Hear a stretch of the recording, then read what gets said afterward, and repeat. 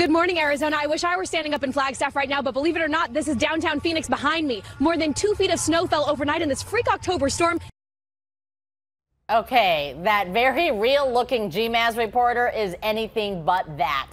In fact, this woman completely AI generated, as is all that snow on the ground and on the mountains and on the cacti. I know, crazy. This entire scene created by OpenAI's new feature called Sora 2, which allows users to pretty much type in any idea and then you get a generated video. That this is, is, just incredible. It is unbelievable. So, as you can imagine, this new type of uh, feature stirring up both curiosity and concerns. ASU professor Andrew Maynard, he's our expert with AI stuff, is here to talk about the good and the bad. You created that video. Well, Sora created it. Well, I told it what to create. You told it what to do. And it did it. Oh uh, so, is there any way for us sitting here to look at that and Oh, it's fake because of that. Is there? There, there is. Okay. So, so if you look closely, it's got a little thing on it saying Sora. So okay. you know it was made by Sora. But if it didn't have that, if it didn't have that, it would be really tough to tell whether it was real or not. And of course, it's easy to remove that little badge. Right. Oh my gosh. And this brings up, you know, yes, there are so many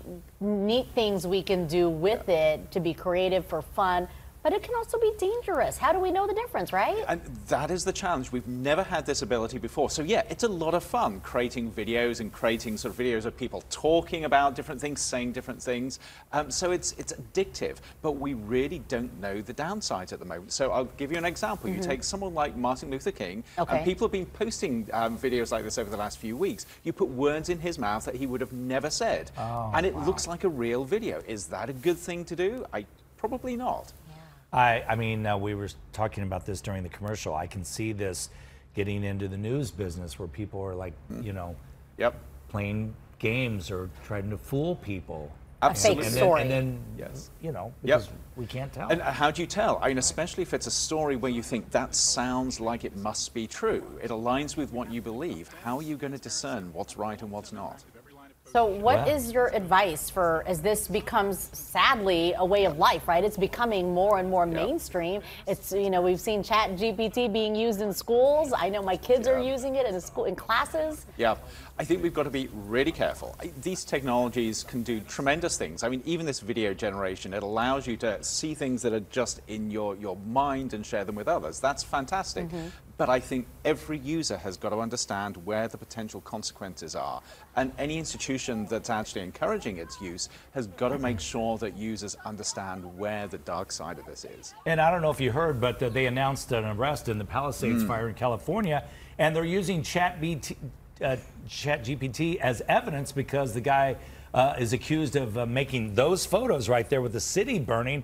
So now it's evidence. I've never heard of that before. No, and we're actually seeing this more and more. So there have been other cases, very, very sadly, where mm -hmm. young people have taken their own lives. And it seems mm -hmm. like mm-hmm. there's a connection between their use of ChatGPT and, and their actions. So it is appearing in evidence. Now, it's really hard to tell where those connections are at the moment, but there are enough red flags coming up that indicate that there is something serious that we need to be aware of here. Do you think we're using all this stuff, releasing it, creating it too soon, not knowing what the consequences are? I think there are not enough conversations about where those guardrails should be and where the consequences might be and how we need to use it responsibly. Uh, by the way, uh, I see all the time on social media, hey, uh, uh AI is going to produce a lot of millionaires. Uh, is that something you study in school? I mean, do you see that? It is that going to be I, the good side of it? Well, you know, the jury is out at the moment. There is a lot of money flowing around AI at the moment, but it's concentrated in one or two small areas. Um, and I'm sure there are some really enterprising people out there that are going to make a lot of money from mm. it, mm-hmm. but I think there are going to be a lot of people that lose money through it as well, whether it's losing their jobs or their livelihood. Okay, that's very interesting. Oh, wow. gosh. Sora yeah, it's always AI, so fun careful. to talk to you because I feel like it's so it's such a huge topic now now, but so many of us know so little about it. And Yep. Well, every week I think you'll be joining us, telling us about what the latest new thing is, right, right, and, and how to us. think about it. Yes. but that video was something else. It really was. Thank you so much for joining us.